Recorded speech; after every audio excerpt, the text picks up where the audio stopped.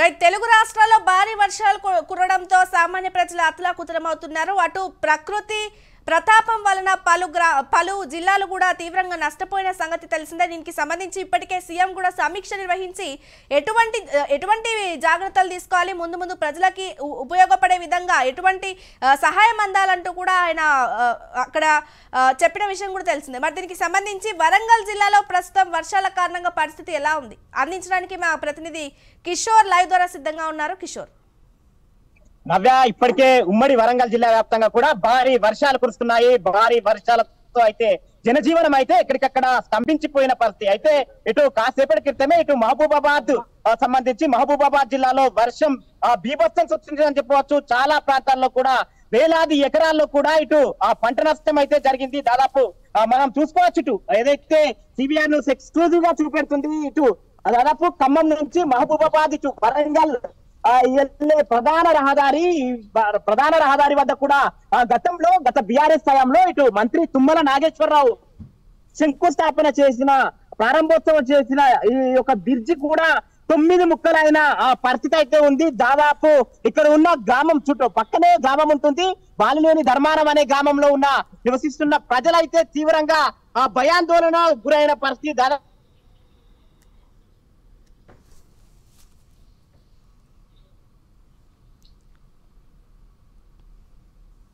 ముఖ్యమంత్రి రేవంత్ రెడ్డి కుంగిరెడ్డి శ్రీనివాస్ రెడ్డి బట్టి విక్రమార్క సీతక్క కూడా ఇటు మహబూబాబాద్ జిల్లాలో పర్యటించడం జరిగింది. కానీ ఇక్కడికి రాలేదంటూ కూడా ఇక్కడ ఉన్న బాధితులు అయితే చెప్తున్న పరిస్థితి. మనతో పాటు ఇటు బాధితులు ఉన్నారు. మాట్లాడే ప్రయత్నించారు చెప్పండి అమ్మా అసలు ఏం జరిగింది? ఏంది? చెప్పు.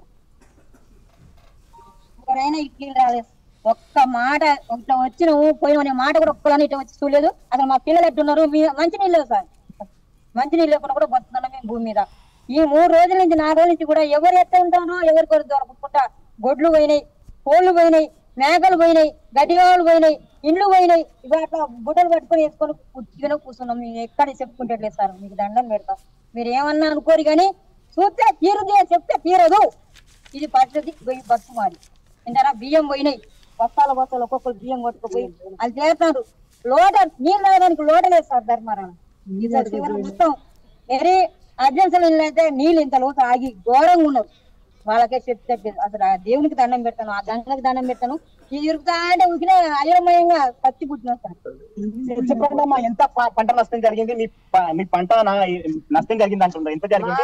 ఈ గ్రామంలో ఎంత జరిగి ఉంటది చాలా ఒక వెయ్యి అయిపోయిందండి చాలా ఘోరంగా ఉందండి. మరి పరిస్థితి అసలు చూడలేకపోతున్నాం అండి ఆ ఘోరం. ఎట్లా ఉందోనండి అసలు చెప్పుకోలేకపోతున్నాం ఒకరికి ఒకరు. ఒకరి ఇంట్లో నుంచి ఒకరు వెళ్ళలేకపోతున్నాం. కనీసం కరెంట్ గానీ ఏది గానీ లేక అసలు బాగా ఇబ్బంది పడుతున్నాం అండి కొన్ని వందల ఎకరాలు. వేల ఎకరాలు వందల ఎకరాలు వేల ఎకరాలండి అసలు. మస్తు ఘోరంగా వేసిన బట్టలు మరీ ఘోరంగా పోయినాయండి కొత్త పోయినాయి. అసలు చూడలేకపోతున్నాం ఆ భూములు భూములు కూడా వచ్చే పరిస్థితి కూడా లేదండి. ఇక మళ్ళీ నాడు పెట్టుకునే పరిస్థితి కూడా లేదు. అంత ఘోరంగా మట్టి కొట్టకపోయిందండి. మొత్తం మీద ఇటు సివిఆర్ న్యూస్ అయితే భావి ప్రపంచానికి చూపెట్టే ప్రయత్నం చేస్తుంది. ఇటు బాధితుల మాటల్లో తెలుసుకున్నాం అసలు ఏం జరిగింది? భారీ వర్షం వచ్చింది. మీ దగ్గరికి వర్షం బ్రిడ్జ్ లేచిపోయింది. ఒక ఎమ్మెల్యే రాలే ఒక కలెక్టర్ రాలే. కలెక్టర్ కూడా మేము చెప్పాము. రాలేదు. ఎమ్మెల్యే కూడా ఫోన్ చేసాము ఎమ్మెల్యే కూడా రాలే. ఈ రోజు మన ముఖ్యమంత్రి గారు వస్తున్నాడు. పోయిన రాలే. నా ఒక ఎంఆర్ఓ కూడా పంపలేదు సార్. కనీసం కరెంట్ లేదు మూడు రోజుల నుంచి.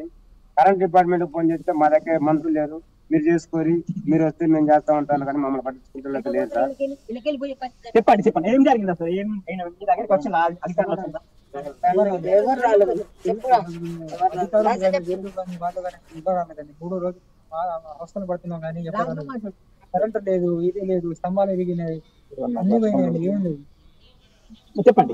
ఏం- జరిగింది అసలు ఏం జరిగింది? బాలెం ధర్మారం గ్రామం పక్కనే అంచి బాలెం ధర్మారంలో ఇప్పుడు త్రీ డేస్ నుండి కరెంటు లేదు వీధి లైట్లు లేవు ఏమీ లేదు. ఇప్పుడు ఇందాక సీఎం గారు రేవంత్ రెడ్డి కూడా వచ్చారు. వాళ్ళు కూడా ఒక కిలోమీటర్ దూరంలో ఒక బ్రిడ్జి చూసుకొని వెళ్ళిపోయారు. కానీ కిలోమీటర్ దూరంలో వచ్చి బ్రిడ్జి చూడలేదు. ఒక ఎమ్మెల్యే రాలేదు. ఒక మంత్రులు రాలేదు ఒక పోలీసులు రాలేదు. ఒక కలెక్టర్ కానీ ఒక ఎంఆర్ఓ కానీ ఎవరు రాలేదు ఎవరు స్పందించలేదు. ఒక నష్టపరిహారం బాగా జరిగింది దాన్ని కూడా చూడడానికి ఎవరు రాలేదు ఎవరు పట్టించుకోలేదు. ఈ త్రీ డేస్ నుండి కరెంట్ లేదు ఏమీ లేదు. చెప్పండి ఏం కోరుకుంటారు మీరేం మాకు మాకు ఇల్లుగా మాకు ఇల్లు కట్టిస్తే చాలు మాకు కొద్దిగా భూమికి నష్టం అయింది భూమికి డబ్బులు ఇచ్చి మాకు ఇల్లు కట్టిస్తే చాలు మాకు అదే చాలండి నవ్య మొత్తం మీద ఉమ్మడి వరంగల్ జిల్లా వ్యాప్తంగా కూడా భారీ వర్షాలు కురుస్తున్నాయి. ఇప్పుడు కూడా భారీ వర్షం కురుస్తుంది.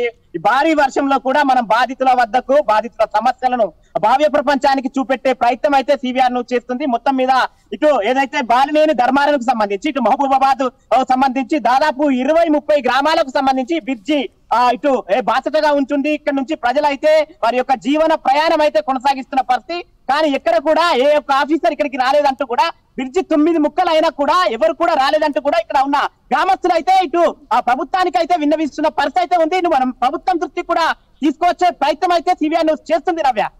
Right thank you Kishore for the live updates